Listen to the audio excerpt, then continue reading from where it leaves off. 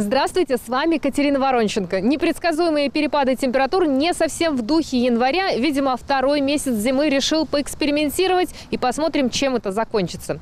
Завтра днем на севере до 4 градусов выше нуля. Будет облачно с прояснениями, ожидается слабый дождь. Ветер юго-восточный 7-10 метров в секунду с порывами аж до 15. Предстоящей ночью температура опустится до 2 градусов тепла.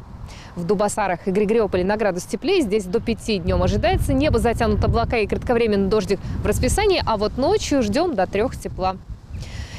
А на юге картина абсолютно похожая. 3-5 с плюсом. Также облачная и тоже кратковременный дождик подпортит немного картину дня. Ветер юго-восточный 7-10 метров в секунду с порывами до 15 метров. Предстоящей ночью температура опустится до 3 градусов тепла.